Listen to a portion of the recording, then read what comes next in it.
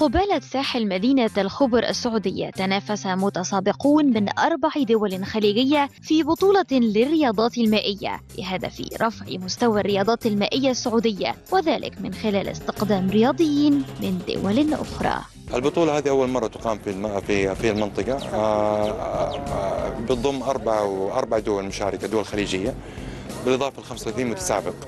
آه، بأمانة يعني التنظيم كان من ناحية شركة الأجواء السعودية وبالتعاون مع الاتحاد السعودي للرياضة البحرية والغوص. كانت فكرة جدا رائعة وتعاون جدا مثمر. طلعنا فيه بالنتائج اللي حققوها المتسابقين اليوم. يعني الواحد يبغى يسابق على أساس يشوف يقارن نفسه هل هل تطور ولا ما تطور. يعني مثلا المتسابق السعودي يتمرن يتمرن طول السنة ما يعرف مستواه إلا يوم يحتك ويا المتسابقين الثانيين. فالكل ينتظر الفرصة هاي وأنا أشوف الصراحة يعني سباق ناجح. 35 مشاركا من السعودية والإمارات العربية المتحدة والبحرين والكويت. تنافسوا وسط هتافات التشجيع من الجمهور وعلى الرغم من قلة عدد المشاركين الإماراتيين إلا أنهم حصدوا الذهب. فالأول إماراتي الجنسية وهو أصغر المشاركين.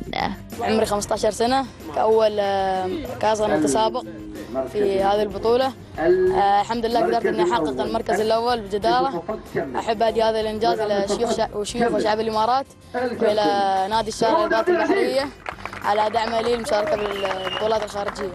طبعا كسباق ال closed course سباق ال closed course أو سباق الماراثون كلها تعتمد على أشياء منها أساسيات منها الأساسيات اللياقه وتجهيز ال jet ski أو الدراجة.